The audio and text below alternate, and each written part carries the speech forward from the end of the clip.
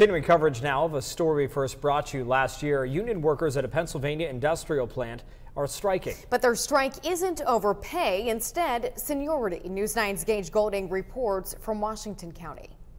The more than 80 union members have been on strike since September, and on and off they've been negotiating with the Langeloth Metallurgical Plant here in Washington County. But now they have a new pillar of support. Pennsylvania State Representative Jason Ortitay has spoken out to help end the strike.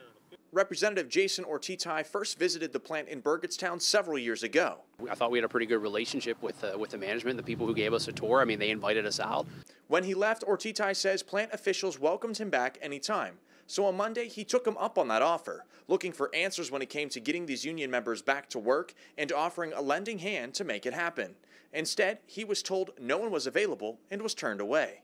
I got a call from their attorney, not from them. Uh, to me, I was a little bit disappointed in that. I don't know why I uh, couldn't at least get the courtesy of a phone call from one of them just to get an update on what's going on and kind of what the, the plans are moving forward. Representative Ortitay even had some helpful information for plant officials about a grant that would help cover some of the reported $400,000 in training costs, one of the main roadblocks during negotiations.